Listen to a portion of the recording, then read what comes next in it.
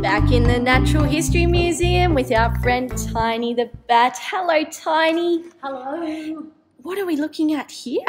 Well, I think these are native animals. Is that right, Andrea? That is right. In this cabinet, we have mammals, birds, insects, uh, reptiles that live in the New England area.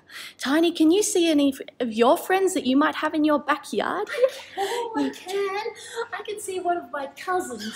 Your This is a chocolate wattle bat. Oh, wow. Not this one's not my cousin, but that I've seen him before. What's Hmm. that one there? Oh, Let's have a look at our key. myself. It's a squirrel glider. A squirrel glider, wow. Now, all these native Australian animals are often threatened by our introduced species that we had a look at before. Aren't they incredible, Tiny?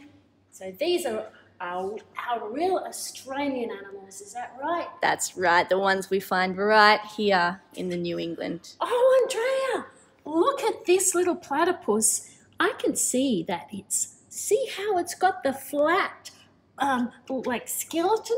Yeah. If I took off the flesh, it'd be like the seal a bit, wouldn't it? That's exactly right. Its webbed feet helps it paddle through the water, just like we saw with Oh. our seal. I'm learning so much from this visit to the museum. How exciting. Thank you for joining us, Tiny. You're welcome.